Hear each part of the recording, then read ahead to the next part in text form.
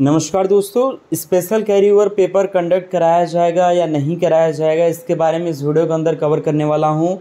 इसी के रिगार्डिंग मैं आपको बताने वाला हूँ कि आज मैं ट्वीट करूँगा आप लोगों को क्या करना है, क्या नहीं। साथ ही रिज़ल्ट अक्टूबर में कोई रिज़ल्ट आएगा, क्योंकि आज जो डेट है वो हो गया आई थिंक चौबीस अक्टूबर, ना? और अभी तक रिज़ल्ट का कोई अता पता नहीं है, बहुत सारे रिज़ल्ट पेंडिंग हैं।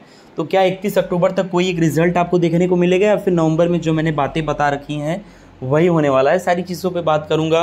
इसके साथ साथ फ्री टैबलेट को लेकर चांसेस बेहद कम हो रहे हैं। ऐसा छात्रों का कहना है कि, सर, क्या सच में अब कोई मतलब अब फ्री टैबलेट स्मार्टफ़ोन नहीं मिलेगा?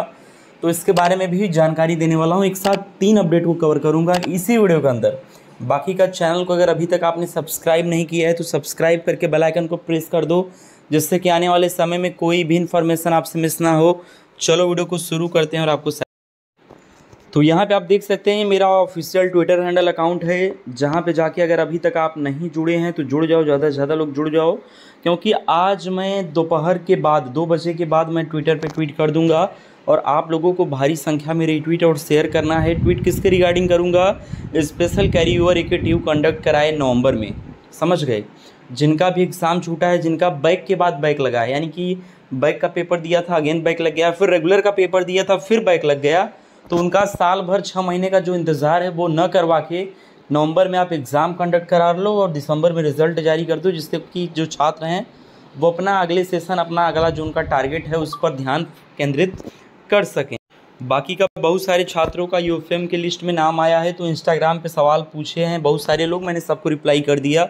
अगर आपको भी डाउट है तो आप मेरे से डायरेक्टली इंस्टाग्राम पे पूछ सकते हो, जिसका डायरेक्ट लिंक डिस्क्रिप्शन में आपको मिल जाएगा। अब बात करते हैं यू एफ़ किन छात्रों का लगा था। कुछ छात्रों का कहना है कि उनका बेफिजूल ए के टी यू ने यू एफ़ लगा दिया। तो ऐसा जनरली होता नहीं है और अगर ऐसा हुआ है तो अपने कॉलेज में बात कर लो। ए के टी यू बार बार बीच में कोई ना कोई सर्कुलर निकाल देता है। उस सर्कुलर के माध्यम से कहता है कि भैया, जिनका भी लगता है कि उनको यू एफ़ का रीज़न देना है, टाइम से दे दो। तो इसके रिगार्डिंग आप लोग क्या काम करो? एक्टिव रहा करो, समझ गए? और ये कुछ दिन पहले अभी आया था अपडेट। मैंने वीडियो के माध्यम से भी बताया था। बहरहाल अभी ऐसा कोई अपडेट नहीं है कि एफएम क्लियर कराने का कोई चांस हो, लेकिन फिर भी आपको थोड़ा सा कॉलेज के टच में रहना है, खुद भी एक्टिव रहना होता है। इन तमाम सारी चीज़ों को लेकर जब ऐसे अंदेशे, ऐसे चांसेस हो जाते हैं। अब बात करते हैं, ये तमाम सारी चीज़ें जो हैं, वो हो चुकी हैं। यूपी स्कॉलरशिप एस कैटेगरी के छात्रों का भेजा गया और इसी के रिगार्डिंग शाम को मैं एक और वीडियो लाने वाला हूँ कि अब जितने छात्रों का नहीं भेजा गया, उनका कब भेजा जाएगा? और अब बात करते हैं कि फ्री टैबलेट और स्मार्टफ़ोन को लेकर। एक चीज़ यहाँ पे आपको मैं क्लियर कर दूँ कि फ्री टैबलेट स्मार्टफ़ोन का वितरण शुरू हुआ है, मगर कछुआ चाल में, यानी कि बहुत धीमी रफ्तार में। समझ रहे हो? महीने में एक आध दो कॉलेज के बच्चों को मिल जा रहा है तो बहुत बड़ी बात है। और जिस हिसाब से गवर्नमेंट वादा करती है कि 25 लाख छात्रों को हम देंगे, घंटा ऐसा कुछ नहीं होता। रियलिटी तो यह है कि पाँच लाख को भी ये साल बीतने से पहले नहीं दे सकते।